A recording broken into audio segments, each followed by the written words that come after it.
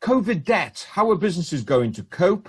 Asset finance usage still low but starting to grow, and CBIL loan update. All of this in the latest Business Finance Bulletin.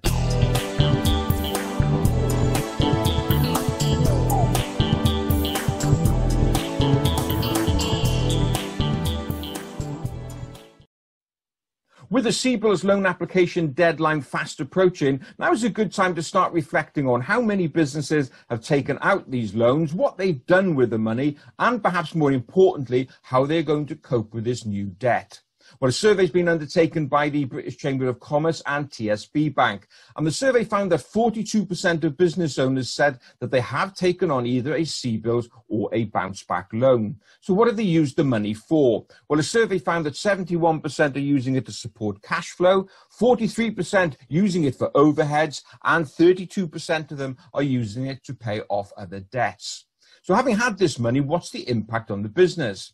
Well, the survey found that 64% of them said that the loans are now going to negatively impact on their business plans. So, in what way is this going to affect the future? Well, 27% of them saying they could scale down their business, 26% said it will change their investment plans, and 11% say that they could actually stop trading altogether.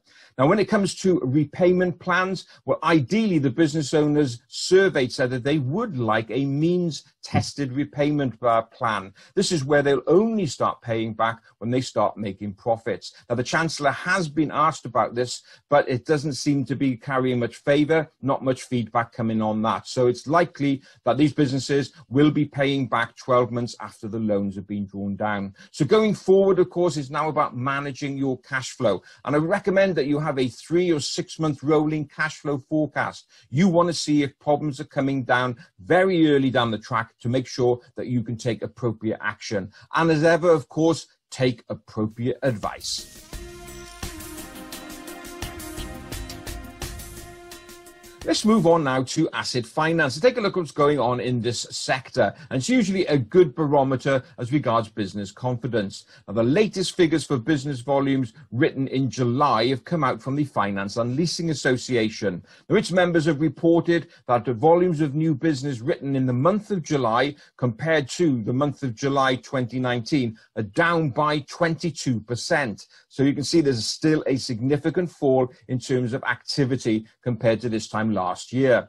If we look at the quarter to July 2020 versus the three months to July 2019, their business volumes were down a whopping 41% we can see so big impact there in terms of investment appetite. However, some good news, there were actually increases in volumes in terms of IT equipment being bought and also increase in manufacturing equipment.